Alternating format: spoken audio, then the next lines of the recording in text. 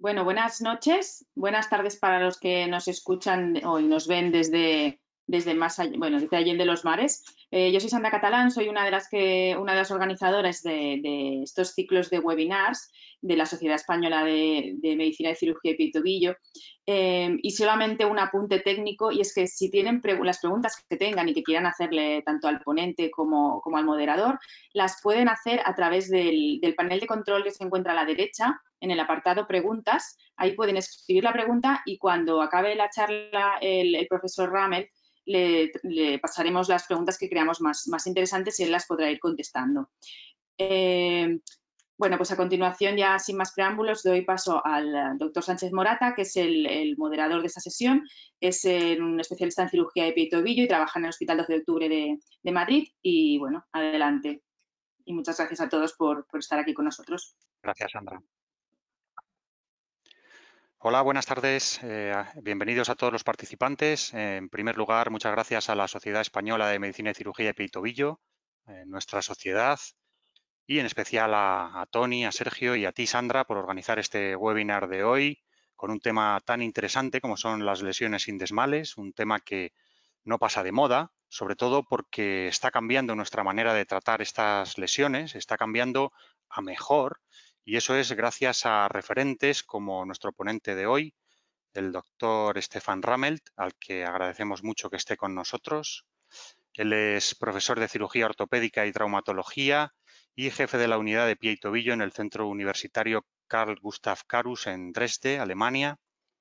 Ha dirigido múltiples cursos y tiene también multitud de publicaciones e incluso manuales específicos de pie y tobillo como el de AO que se lanzó este mismo año y tenemos la suerte de que conoce el idioma y es una persona muy accesible ¿eh? para lo famoso que es. Así que creo que vamos a aprovechar mucho. La audiencia puede ir haciendo sus preguntas a través del chat y al final eh, las comentamos. ¿eh? Muchas gracias de nuevo, Estefan. Adelante, cuando quieras. Buenas tardes o buenas noches de Dresden, Alemania. Muchas gracias por la invitación y eh, disculpen mi español que es un poco sencillo. Eh, ¿Se pueden ver la mía pantalla? Ok, sí. ¿Sí? ¿Se ve en la presentación? Sí, correcto, Estefan. Entonces, eso es la ciudad en que estoy, es eh, Dresden, en Alemania del Este media millón de habitantes, entonces mucho más menor que Madrid o Barcelona. Y eh, el complejo sindesmal eh, es muy interesante, también la, anatomía. Eh, el complejo sindesmal empieza cerca de la rodilla y se va con la membrana interósea hasta el tobillo, pero cuando hablamos de la sindesmosis, siempre tenemos em, en nuestra cabeza el complejo distal de la sindesmosis tibiofibular. Y um, ese es un, complejo de, cinco ligamentos y eh, siempre vemos el ligamento anterior cuando hacemos eh, cirugía el ligamento posterior, que es eh, más fuerte y tiene una aumentación distal que a veces es considerado como ligamento oblicuo de la sindesmosis y puede tener un poco de cartílago. Y el ligamento más ancho que nunca vemos es el ligamento tibiofibular interosseo. Y aquí vemos la fíbula, el interior de la fíbula y tiene un, eh, una área triangular entre la fíbula y la tibia. Es, es muy importante por la estabilidad y eh, no se puede eh, ver y no se puede suturar durante la cirugía. Muy importantes son las abulsiones sin desmales óseos que podemos ver en eh, fracturas del tobillo y la gran mayoría de lesiones sindesmales es, eh, se, pasa con una fractura o luxofractura del tobillo. Todos sabemos las avulsiones de la sindesmosis posterior, eh, por primera vez describido de de Irlanda, pero en Alemania, en, en muchas partes, eh, eh, eso es el triángulo de Volkmann. Y de verdad es una abulsión de la sindesmosis posterior que es muy fuerte. Y cuando fijamos el malelo posterior, que también se llama, también eh, aumentizamos la estabilidad sindesmal. Lo mismo eh, vemos en eh, lesiones anteriores. El tubérculo de Tillot-Chapuis es el tubérculo anterior de la tibia donde está la inserción de la sindesmosis anterior, pero también podemos observar eh, eh, avulsiones de la fíbula que se llama avulsiones de fragmentos de Wagstaff o de Lefort. Y de verdad podemos ver en una misma fractura del tubillo lesiones posteriores, avulsiones posteriores y anteriores eh, de la sindesmosis y claro que esa es una situación muy inestable. La sindesmosis está importante para un movimiento fisiológico de la fíbula entre la incisura de la tibia y cuando el pie se va en extensión, el parte más ancho del astrágalo se entra entre el malero interno y externo y estrecha los ligamentos eh, del complejo sindesmal. Entonces, eh, con el pie en extensión o en pronación, tenemos em, más, em, eh, más fuerza en la sindesmosis y las rupturas sindesmales, la gran mayoría pasa con el pie en pronación y con fracturas en pronación. Cuando el pie es en flexión, en supinación, em, los segmentos son más eh, flojos, relajados y hay eh, pocas lesiones de sindesmosis y hay más eh, lesiones de ligamentos colaterales. El problema puede ser que la incisura fibular es muy em, diferente entre los varios individuos y puede ser eh, muy eh, plana, casi plana. Y claro que la reducción de la fíbula en la incisura es más difícil cuando la incisura no está existente o es muy plana. Por eso hay que darse cuenta de esas eh, variaciones anatómicas y en estos casos es más importante ver los marcos anatómicos sobre todo el tubérculo anterior de la fíbula y de la tibia directamente para obtener una buena reducción de la fíbula en la incisura tibial. Cuando la sindesmosis está inestable y hay muchas eh, observaciones eh, con em, observaciones biomecánicas y también observaciones eh, con resonancia.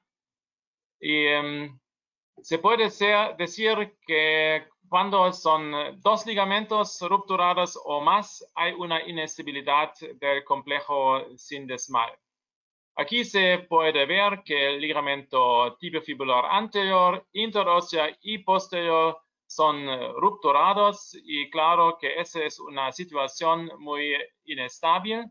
Es una lesión rara solamente ligamentaria de la sindesmosis y claro, siempre hay que buscar una fractura alta de la fíbula en esos casos eh, para ver si hay una fractura de mesonet en esos casos. Pero aquí tenemos una lesión eh, ligamentaria y eh, cuando solo el ligamento anterior está rupturado, Todavía ya la sindesmosis está inestable. Cuando son dos ligamentos o más, la situación es inestable y requiere eh, fijación. ¿Cómo lo detectamos? Em, la eh, prueba, claro, el, examen clínico es muy importante. El dolor no es a la punta de la fíbula, el dolor es en la región sindesmal. Y cuando hacemos una compresión eh, entre la fíbula y la tibia más arriba o cuando hacemos una rotación externa del, pie contra la tibia, el paciente dice que hay dolor a la región eh, sindesmal, donde no tocamos. Em, claro que con eh, radiografía, con fluoroscopía de estrés, eh, podemos ver cuando hay lesiones que son sutiles, que no vemos con el pie Em, con radiografía sin estrés. Eh, también se puede ver con artroscopía, pero ese es un método eh, invasivamente, invasivo o con resonancia, pero la, resonancia no nos da información sobre la estabilidad. Aquí vemos ese examen de estrés con rotación externa. También en Alemania, Asia, em, em, decimos la prueba de Frick y con esa rotación eh, externa se ve los eh, que, pasa. El espacio medial o en inglés eh, medial clear space se aumenta y es más ancho que el espacio superior. Y también el espacio tibiofibular libre o ligne claire en francés o tibiofibular clear space, también ese se aumenta y esa es eh, la medida radiológica de la sindesmosis entre la fíbula y la tibia. Y aquí claramente vemos con examen de estrés que hay una inestabilidad sindesmal. Muy importante es eh, una posición correcta del pie y sobre todo por el astrágalo, porque el astrágalo es más ancho en su posición anterior en la parte posterior. Y cuando el pie está en flexión plantar, parece que el espacio medial está más ancho. Pero el mismo pie neutro, vemos que el espacio medial está normal. Y lo mismo con el examen de estrés. No vale la pena hacer un examen de estrés con el pie en flexión plantar parece muy inestable, pero aquí es el parte posterior eh, del talo que es muy eh, delgado. Ahora el parte anterior del talo es en eh, la mortaja y ahora no vemos inestabilidad. También es muy bien em, fijarse en esa línea em, más lateral de la tibia con la línea lateral del talo. Y cuando ese se alinea muy bien, es muy improbable que haya una lesión sin desmal. ¿Cómo tratarlo? Y esos son los dibujos clásicos de Quenu. Tienen más que 100 años y todavía son muy válidos. También esas eh, fracturas de Maisonneuve. Lo más importante en mis manos es eh, que hacemos una reducción abierta. Claro, en esa época de cirugía mínimamente invasiva, eh, queremos que hacer todo percutáneo, pero con eh, abulsiones sin desmales, con rupturas ligamentarias, siempre es mejor ver la sindesmosis, esa región, ver si no hay eh, pedazos de, ligamentos que entran en la incisura y no permitan una reducción eh, correcta, anatómica. Y eh, es una, todavía es una incisión mínimamente invasiva y hay un, un trabajo de, de Pelton, del equipo de David Tordason de Los Ángeles, y él es muy em, un, cirujano con mucha experiencia y con eh, reducciones percutáneas, con tratamiento percutáneo en eh, lesiones de, de han visto múltiples eh, mal, reducciones con reducción abierta nunca. Y eso también es la mía experiencia con reducción abierta muy, muy raro eh, vemos que hay una mala reducción. También importante la posición del pie. Hay un peligro de transacción anterior cuando, cuando esa almohadilla está bajo de, em, de la pierna. cuando está abajo del talón, hay una casi una autorreducción de, de la tibia contra la, la fíbula en eh, lesiones eh, sin desmales. Eh, con esa posición hay el riesgo que la fíbula se va por delante. Por eso también me gusta mucho la posición con el paciente boca abajo cuando tenemos abusiones posteriores, porque en esa posición también hay una reducción del paciente del tobillo solo con la posición del paciente. ¿Cómo ponemos la pinza de reducción? Y esos son los principios eh, viejos de la O, del Weber y Heim, y son eh, válidos. Tenemos que ver dónde es el eje del tobillo. Y el eje no es eh, derecho, el eje es oblicuo, tiene 25 a 30 grados y cuando ponemos la pinza de punto a punto, de punto de la eh, fíbula eh, a la punta de la eh, tibia, del maleo interno y externo, estamos exactamente en ese eje y ese eje también es em, la misma donde hay que entrar el tornillo de posición o el tightrope o que podemos hacer. Y con, con esa eh, posición de la pinza tenemos menos riesgo de mal, eh, mal posición del, del, tobillo. Cuando tenemos un, desvío de, de, ese, pinza, tenemos peligro de eh, mal, mala reducción.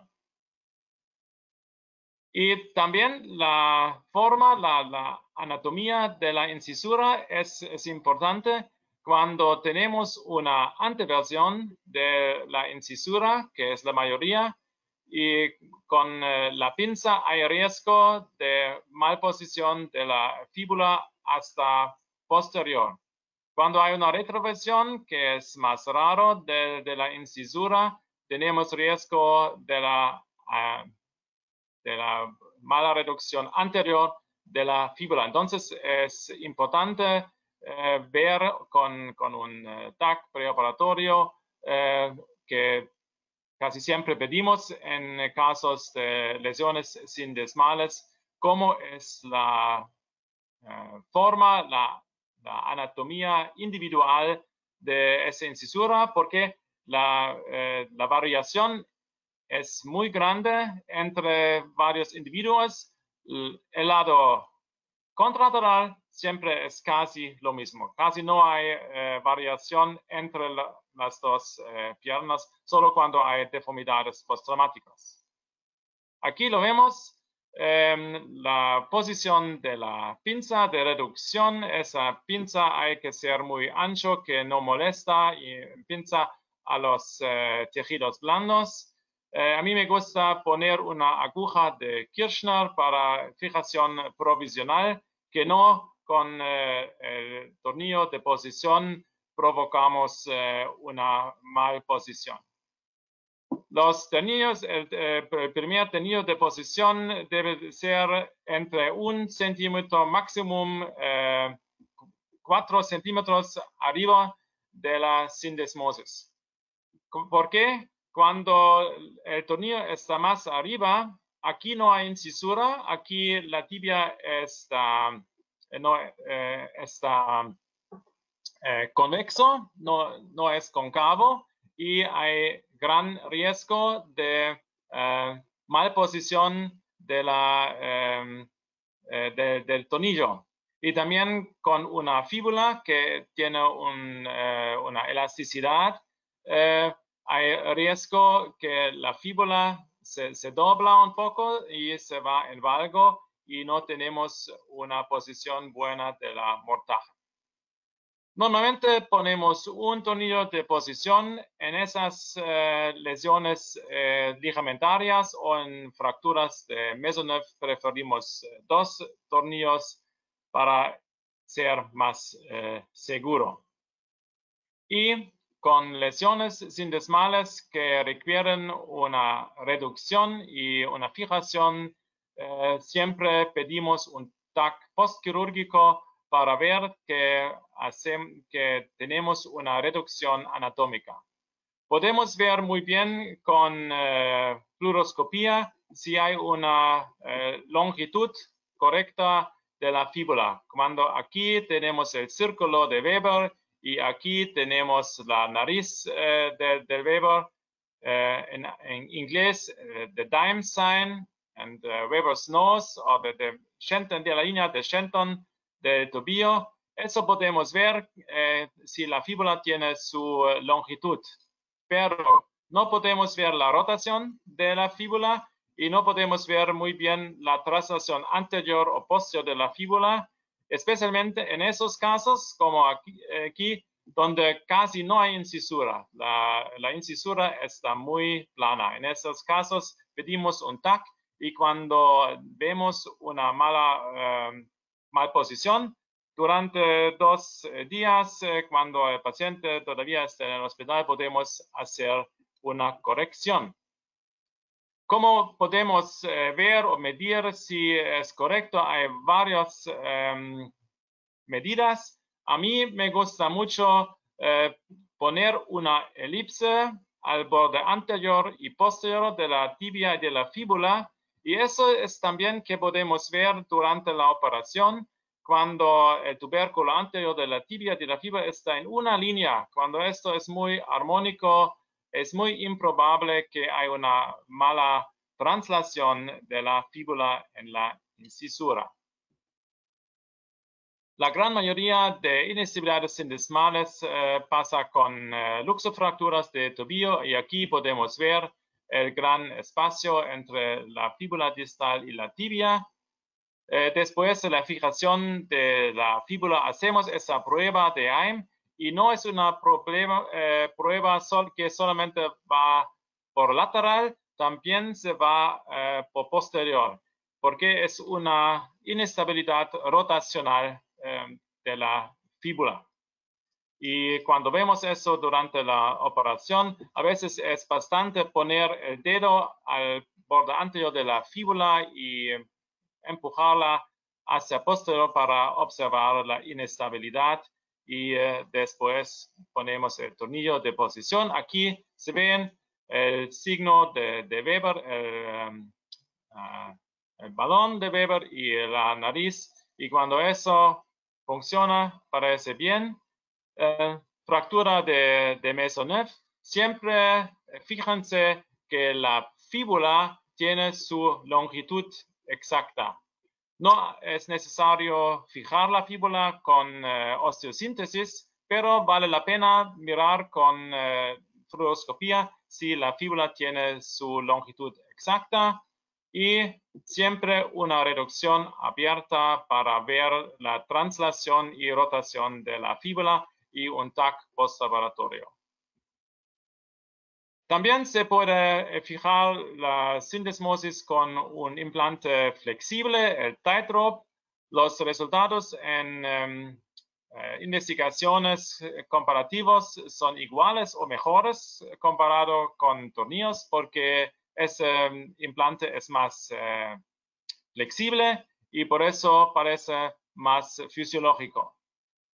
También en algunos casos eh, hay que retirar los materiales, sobre todo cuando hay irritación media. También hay eh, investigaciones que muestran que hay irritación del nervio eh, safeno o de la vena safena. Entonces hay que ser cuidadoso con el parte medial del tightrope. Pero eh, es, más fisiológica, hay un poco de autocorrección, pero no es instrumento de reducción. Es eh, muy importante reducir la fíbula en la incisura antes de poner el tightrope. El tightrope no es instrumento de reducción.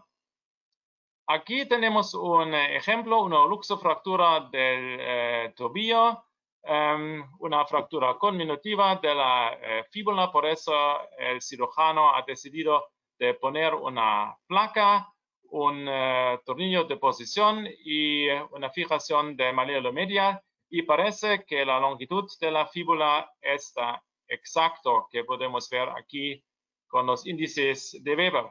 Pero el TAC postquirúrgico nos eh, muestra que hay una translación anterior de la fíbula por un pedazo chiquito en, en el tubérculo de Chapuis.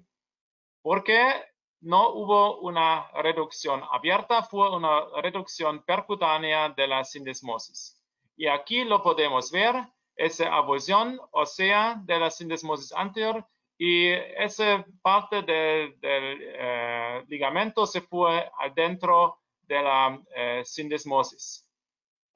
Con, ese, eh, con esa aguja, yo, yo, lo llamo la navegación de los pobres, podemos poner en la tibia y después cuando medimos que necesitamos 2 milímetros de reducción de translación posterior de la fíbula, podemos medir ese durante la operación. Y claro, cuando es eh, fragmento avulsionado de la tibia, em, se, pasa muy bien en su lugar. también tenemos eh, un signo de reducción de la eh, sindesmosis. En la misma operación hemos corregido también el malelo medial y ahora en el TAC postoperatorio vemos eh, los elipses eh, armónicos de, la fíbula y la tibia. Aquí un ejemplo de fijación con tightrope y vemos que tightrope eh, no es un instrumento de reducción. aquí hay varios problemas. un problema es que la fíbula está corto y tiene también una rotación y esa rotación está fijado con eh, el tightrope. Por eso ese paciente necesitaba una corrección de la eh, fíbula, pero después de eso todavía hubo un espacio medial más ancho y un espacio sindesmal más ancho, por eso eh, la reducción de la sindesmosis y un tornillo de posición de ese paciente. Los abusiones sindesmales eh, estamos eh, más agresivos ahora con los eh, fracturas, con las fracturas del malleolo posterior, porque cuando fijamos el malleolo posterior también fijamos la sindesmosis y aquí podemos ver el ligamento sindesmal posterior está intacto y ese fragmento posterior sigue, de la, eh, sigue la fíbula. La fíbula tiene una rotación interna y eh, el espacio sindesmal se aumenta en esos casos. Claro, también el espacio medial.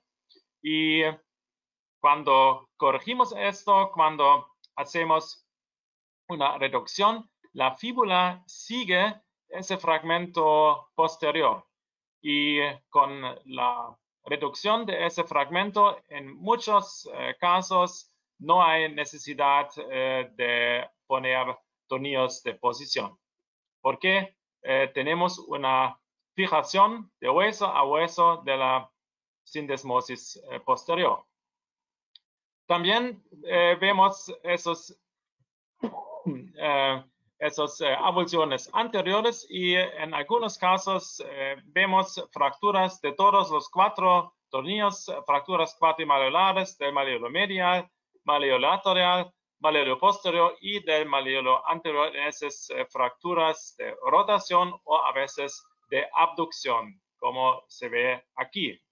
Y tenemos que fijar todo eso y cuando fijamos el maleolo posterior con placa, el maleolo anterior con tornillo, el maleolo medial y lateral, después de eso la sindesmosis está estable por una fijación de hueso a hueso y no necesitamos un eh, tornillo de posición o un tightrope. Y aquí es el TAC postoperatorio y se ve la fijación de todos los eh, componentes de esa fractura. Aquí un eh, ejemplo de la traslación anterior de la fíbula. También en eh, la radiografía se parece bueno. La radiografía lateral no nos muestra una traslación em, anterior, pero aquí en el TAC postoperatorio lo vemos y también vemos la irritación del tornillo anterior en la fíbula eh, contra la tibia. Hacemos la corrección otra vez con esa aguja de Kirchner eh, como señal donde se va la fíbula y eh, si tenemos al alcance de nuestras manos un, un TAC intraoperatorio, claro, podemos hacer la prueba inmediatamente durante la cirugía y no necesitamos un TAC postoperatorio. No tenemos el lado contralateral, eso es un poco un eh, problema con, con esos eh, casos. Hay que retirar los tornillos de posición. Eh, es simple, no es necesario, solo es necesario cuando son sintomáticos y esos son los casos cuando es muy estable, cuando no se rompen cuando los pacientes eh, caminan y se rompe el tornillo, tiene la sindesmosis otra vez su eh, movilidad eh, natural. Los factores prognósticos son muy simples. el factor prognóstico más importante es el cirujano y cuando hay una reducción correcta anatómica de la fíbula en la incisura, hay un montón de investigaciones que nos eh, muestran que ese es el factor más importante eh, por eh, el pronóstico de los pacientes. No importa si tenemos cuatro o tres córtices, no importa si el tornillo tiene este titanio o de acero, no, no importa si tenemos un tornillo reabsorbible o no. Lo más importante es la reducción correcta con tightrope, con tornillo con que eh, queremos fijarlo. Hay otros factores eh, que son dependientes de los pacientes, pero eso es lo más importante. Pero de, eh, de toda manera vemos muchas lesiones crónicas y voy a decir un poco qué podemos hacer con lesiones crónicas. Los eh, medidos radiológicos son eh, las, las, mismas como en eh, fracturas o lesiones agudas. Cuando tenemos duda, podemos hacer radiografía de, de estrés. En lesiones crónicas siempre es buena idea también probar el lado contralateral.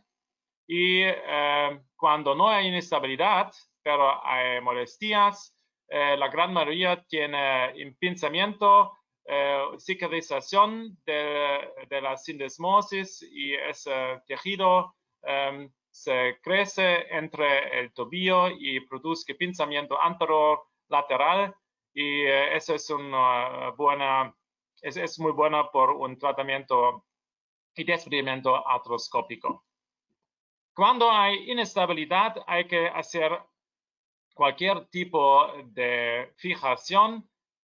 Nosotros preferimos una fijación casi eh, fisiológica con eh, medio tendón del peroneo longo y eh, con reconstrucción del ligamento posterior, interóseo y anterior de, de la sindesmosis.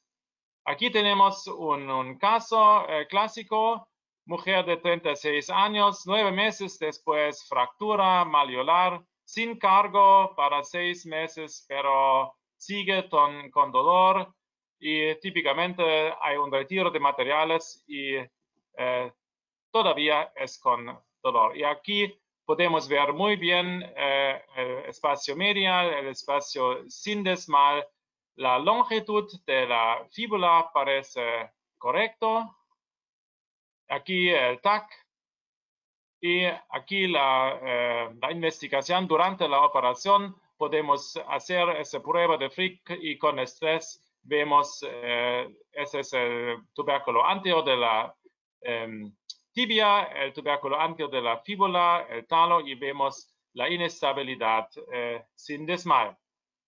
Y aquí los pasos de la reconstrucción. Eh, cuando no se puede cerrar el espacio medial, espacio medial también es necesario hacer una incisión eh, medial para sacar ese tejido y después eh, de la reducción de la sindesmosis, una fijación del tendón con un tornillo y un tornillo de posición que se puede retirar o no retirar después de ocho semanas. Y aquí un eh, caso que fue fijado con tightrope, pero parece que ese um, botón se, va, se fue dentro de la fíbula. Quizás ese método no es tan bueno con eh, hueso osteoporótico y eh, la corrección también fue con ligamento plastia. Aquí un mal elemento de, eh, crónico de la sindesmosis, un joven de 80, 18 años, claro, fútbol muy peligroso en Alemania y en España también. Y aquí vemos que tenía un fragmento anterior que no, que no fue eh, fijado. Y durante un año eh, parece que empieza una eh, artritis postraumática que es muy mal por pacientes tan jóvenes. Y él tenía una falta de unión de ese tubérculo de Chapuis con rotación de la fíbula y translación de la fíbula y la reconstrucción sin desmal era fijación de esa parte y tornillo de posición. Lo mismo puede pasar con abulsiones crónicas posteriores y aquí vemos muy bien esa regla de un tercio o un cuarto de, de la articulación no vale porque también cuando son eh, fragmentos eh, chiquitos eh, posteriores pueden producir una inestabilidad sin desmal. Esos fragmentos siguen de la, la, fíbula y tenemos esa mal posición y la corrección es con el paciente boca abajo, la corrección de parte posterior con, con una placa y aumentación con eh, tornillo y con, con tightrope que se puede quedar hasta que se consolida el parte posterior, el fragmento posterior del tobillo. Eh, ¿Por qué em, todo eh, eso es la ley del Murphy que puede pasar, eh, puede, se va a pasar con la mayoría de las fracturas? También tenemos riesgo de mal alineamiento de la fíbula y esa fue una mujer que fue em, embarazada y por eso em, el cirujano ha decidido de hacer un tratamiento conservador y eh, sigue con radiografías, todos con los mismos resultados, también tampoco una buena idea para una eh, mujer embarazada. Eh, hicimos la corrección con osteotomía y como sorpresa también hemos visto un eh, gran fragmento anterior em, que fue eh, que, que eh, a fijar con ese tornillo. Y eso es la paciente cinco años después con una sindesmosis, un tobillo estable y con buen resultado clínico. Esa es una fractura de, de. Em, aquí se ve la fijación sin desmal. Parece que los tornillos son eh, muy, mucho, muy arriba y no vemos, eh, parece aquí que la fíbula todavía está corta y no está en buena eh, posición. Ese paciente tuvo retiro de materiales a ocho semanas con ese resultado, esas son las radiografías de carga eh, con una eh, lesión ahora inestabilidad crónica de la sindesmosis y en esos casos hay que mm, ver qué pasó con la fíbula. La fíbula tiene acortamiento, tiene rotación, se puede ver aquí, eh, y necesita una aumentación de la y reducción de la sindesmosis. Entonces hicimos la corrección de la fíbula con enlargamiento y derotación, la reducción de la fíbula dentro de la incisura y la fijación sindesmal con dos titrop y después de eso me pareció un poco inestable y por eso añadí un tornillo de posición. El DAC postquirúrgico que nos muestra que la fíbula ahora está en su posición eh, fisiológica y eh, esa es la paciente dos meses y media, em, radiografías de carga con una mortaja anatómica con buena función y empieza a caminar sin dolor. Eso es un caso más raro, una avulsión del ligamento interóseo y eso no se puede suturar, solo se puede despridar y añadir otra vez un tornillo de posición y eso es el paciente dos años después y parece que la sindesmosis ahora está estable. Eso es un eh, caso más grave con necrosis avascular de la tibia. Eso puede pasar sobre todo con eh, fracturas en abducción, con una impactación aquí. Y en estos casos no se puede hacer una sindesmoplastía o algo así. Por eso eh, hicimos una fusión tibiofibular. Claro, eso no es una situación fisiológica, pero hay, pocos estudios que muestran que es mejor que una sindesmosis inestable y eh, no necesitamos en esos casos una fusión tibiotalar. Y esto es eh, un caso muy típico, acortamiento de la fíbula y inestabilidad de la eh, sindesmosis. Y en esos casos hay que corregir la deformidad ósea y la inestabilidad ligamentaria. Sinostosis eh, eh, podemos ver en muchas veces, pero eh, la gran mayoría no molesta a los pacientes solo cuando hay una sinostosis con mal alineamiento o una sinostosis que es completo em, con, con, un diastasis solamente. En esos casos puede ser problema y el tratamiento es resección de la sinostosis, reducción de la fíbula en la incisura, en esos casos fijación eh, elástica con esos eh, Cuando los pacientes vienen más tarde con eh, lesiones sindesmales, hay una artrosis y claro, en esos casos hay que hacer una eh, atodesis de tobía eh, configuración de la fíbula también eh, a la tibia. Lamentablemente, la gran mayoría de, las eh, artrosis son postraumáticas en el tobillo y em, un gran número resulta de mal alineación de la sindesmosis. Entonces, el abordaje eh, a esas lesiones crónicas es eh, muy eh, individual porque también la clínica y la patología es muy individual.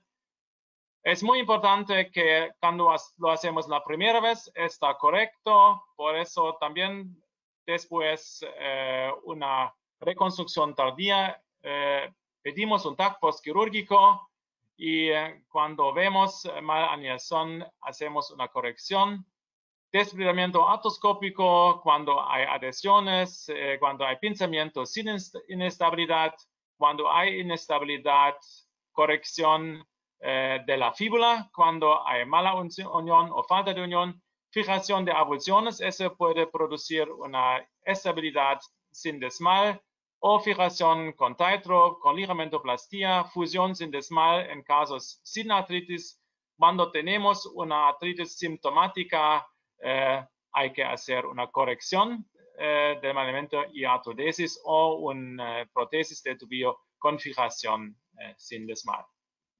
Muchas gracias por su atención y estoy dispuesto para preguntas.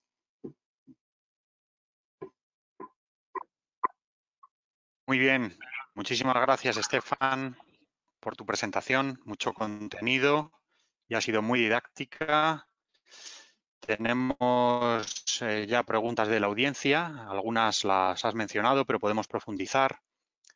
Hay varias sobre las controversias clásicas, intentar y para que participe también el público, si te parece, eh, lanzamos eh, una pequeña encuesta para ver cómo, hacen algunas cosas nuestros compañeros y después tú nos explicas tu, tu opción favorita, ¿ok?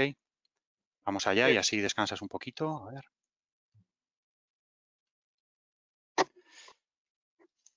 Bueno, pues la primera pregunta para la audiencia sería sobre la controversia típica de tamaño y tipo de los implantes y compresión o no. Dice, en fracturas de tobillo con lesión sin desmal que precisa estabilización, utilizo como norma general. Vamos a dejar un minutito así para que vote la gente, tornillos de tres y medio a través de tres corticales o de cuatro, o bien eh, más gruesos, cuatro y medio a través de tres, cuatro corticales, o sistemas elásticos. Vale, ya tenemos 61%, vamos a dejar 15 segunditos más.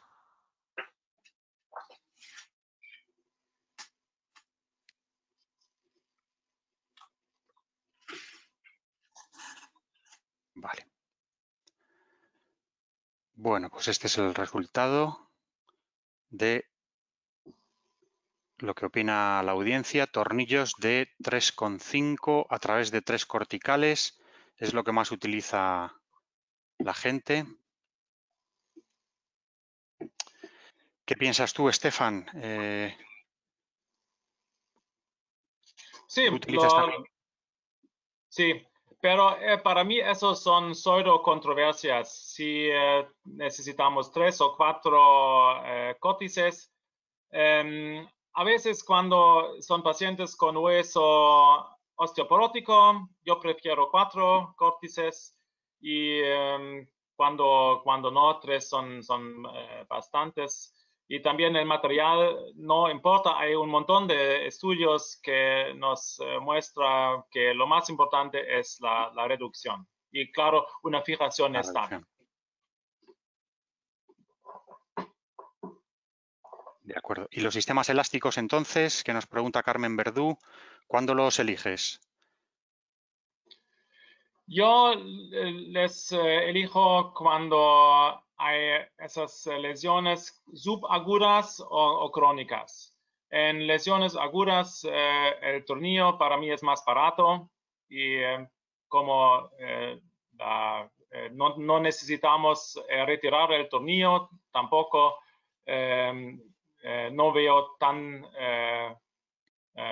mejor, tan ventaja del de tightrope y es más, es más caro pero en lesiones subagudas, en lesiones crónicas, eh, me gusta usarlo.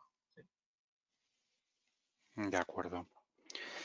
¿Tú no crees que, pueda existir una, una, sobrecompresión de la sindesmosis cuando eh, atraviesas cuatro corticales? Si la reducción es correcta, no puede haber sobrecompresión, ¿verdad? casi es, es casi imposible eh, también hay eh, investigaciones eh, cuando el pie es en su posición correcta, casi es imposible hacer una sobrecompresión. y cuando es un milímetro, no, no, importa tanto porque cuando los pacientes em, empiezan a, caminar y tienen un tornillo, el tornillo se va a romper y esa sobrecompresión se va.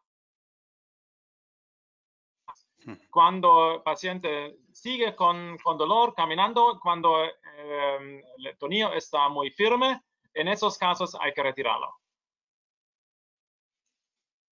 De acuerdo. Vale, pues vamos a pasar a la segunda pregunta para la audiencia sobre el siguiente bloque de controversia, que sería eh, la altura a la que colocamos los implantes y eh, la posición en la que ponemos el pie. Dice, en fracturas con lesión sindesmal inestable, sitúo el implante a 2-4 centímetros proximal a la interlínea articular del tobillo con, con el tobillo en flexión o a 2-4 pero con flexión extensión neutra o bien por encima de 4 proximal a la, interlínea con flexión del pie o por encima de 4 con extensión neutra. Vale, vamos a dejar cinco segunditos más, que ha votado ya mucha gente. Bueno, esto ya nos lo has explicado, Estefan. Vale, esto es lo que ha votado la gente. El 75%, 2 a 4 centímetros proximal a la interlínea con el pie en flexoextensión neutra. Eso es. Entonces, eh, parece que es mejor introducir los tornillos transindesmales que suprasindesmales eh, para, para hacerlo por la concavidad. ¿No te preocupa que, aumente la sinostosis al hacerlo a través de la sindesmosis? La, la sinostosis parece que no importa, que no molesta a los pacientes. Hay varios estudios la gran mayoría de los sinostosis es parcial, no es completo y no parece que no eh, molesta a, los pacientes. Ok. Y Mario Abarca nos pregunta eh, si nos podrías eh, repetir cómo haces para, para, confirmar la reducción intraoperatoria que siempre la haces abierta, como nos has contado, también en el plano sagital, ¿eh? en, el, en el plano antero-posterior. Eso es muy importante y eso hemos em, entrenado nosotros y eh, fue muy humillado hacer un TAC postoperatorio y ver la posición de la, la, fíbula. Porque siempre en fluoroscopía podemos ver la longitud, pero la translación tampoco en las proyecciones laterales, no en mis manos eh, no lo vemos tan preciso. Por eso siempre eh, abre la eh, región sindesmal. También quiero ver el borde lateral del astrágalo, porque la gran mayoría de lesiones osteocondrales son en la parte anterolateral del astrágalo. Y eso podemos ver y cuando hay pequeños pedazos del cartílago podemos sacarlo. Y vemos la, la sindesmosis anterior podemos em, estirar los ligamentos que son rupturados y podemos em, evitar que esos ligamentos van adentro de la, de la incisura.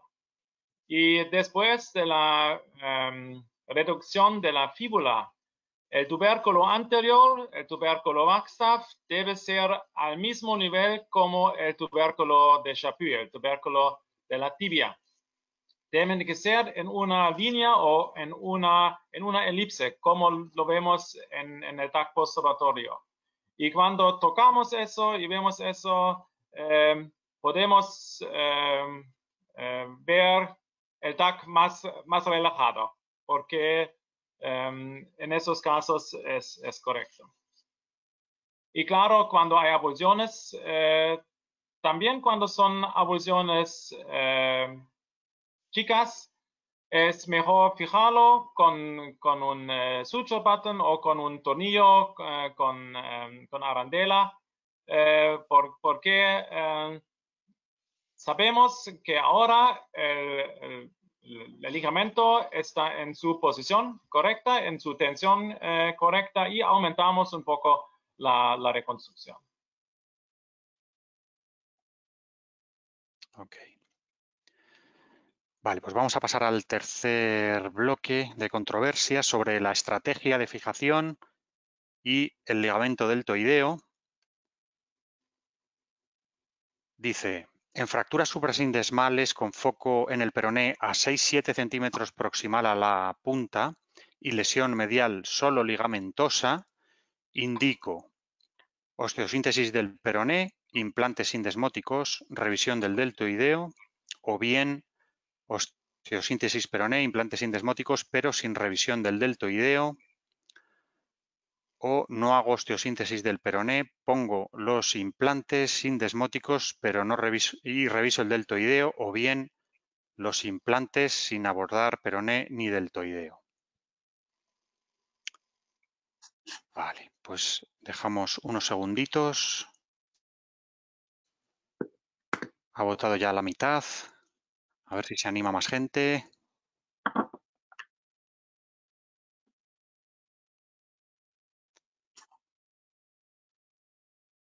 Muy bien. Pues estos son los resultados de lo que hacen nuestros compañeros. El 54% osteosíntesis del peroné, implantes indesmóticos y revisa el deltoideo. ¿eh? hacen todo. La siguiente opción es la de osteosíntesis del peroné, implantes y sin revisar deltoideo. Bueno, tú nos has dicho, Estefan, que el deltoideo de rutina no lo sueles hacer, ¿verdad? No, no de rutina, pero cuando no logro una reducción de espacio medial eh, con, la, pinza, eh, voy a explorar el deltoide porque puede ser que eh, pedazos de ligamentarios son en el espacio medial y no permiten una reducción anatómica. Y hay varios estudios que nos muestran que, que no es necesario por la estabilidad, los, los ligamentos eh, mediales eh, se curan como los ligamentos laterales cuando el tubillo, la mortaja, está en su posición eh, correcta. Y tampoco em, hacemos una, una sutura del, del, ligamento interóseo de la sindesmosis, pero con ese tightrope o con, con el tonillo ponemos los ligamentos en su posición anatómica que se pueden curar. Y lo mismo hago con lesiones crónicas cuando no logro, y eh, en esos eh, casos es más frecuente que hay tejido eh, de reparación que está en el espacio medial y no nos permite una reducción anatómica. En esos casos voy a explorar y una vez cuando estoy allá, a veces también se puede suturar el ligamento, la posición superficial del ligamento deltoideo no se logra a la, em, a la porción eh, profunda, que es lo que es importante para la estabilidad. Y con respecto a la osteosíntesis del peroné, nos has enseñado un, un Maisonef alto que no lo sintetizas arriba, solo lo ves con fluoroscopia, que ha recuperado eh, su longitud. ¿Hasta, ¿Hasta qué altura recomiendas sintetizar el peroné? En las suprasindesmales?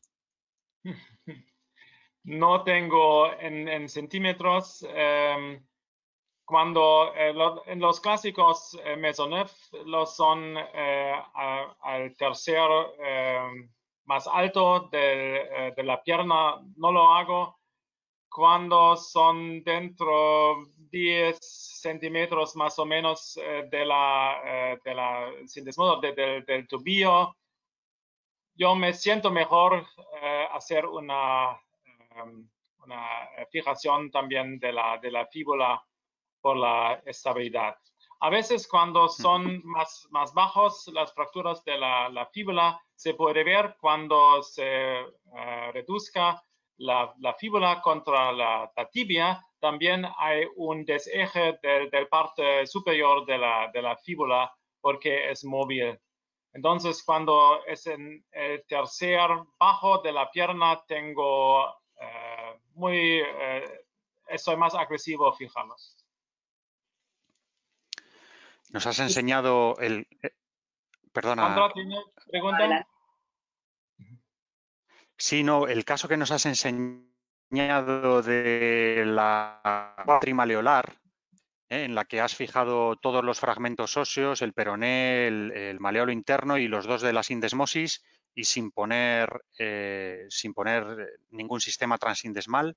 ¿eh? Eso, eso es lo, novedoso, ¿no? digamos, de, tu forma de manejo. ¿No crees que además de, de sintetizar todo lo posible y hacer la reducción abierta de forma directa, eh, puede estar bien poner algo como para que sirva de descarga a la, reparación.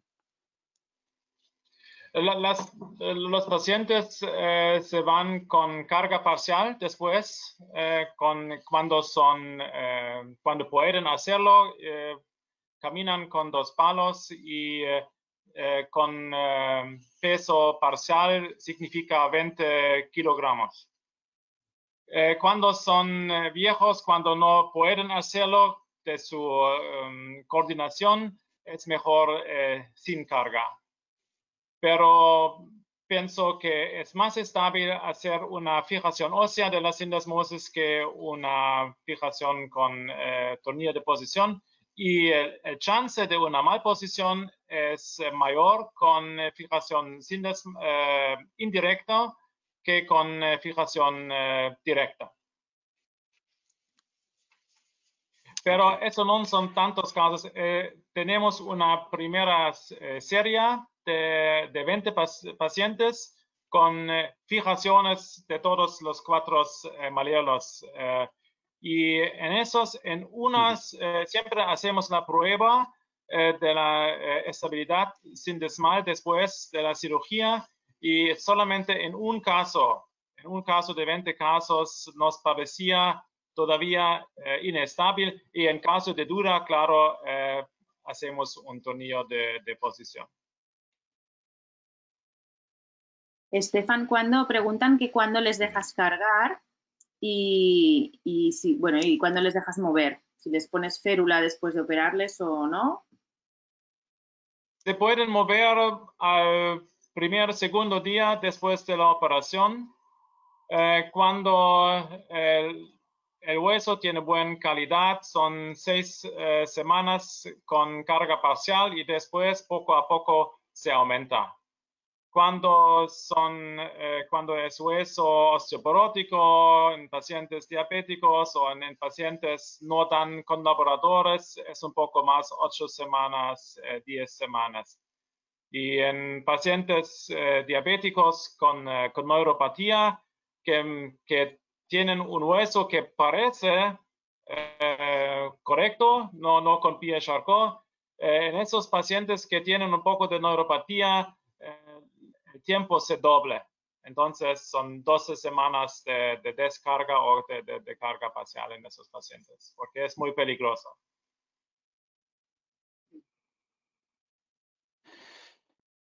Muy bien, pues bueno, estamos ya un poquito pasados de tiempo. Eh, yo creo que vamos a ir concluyendo, Sandra.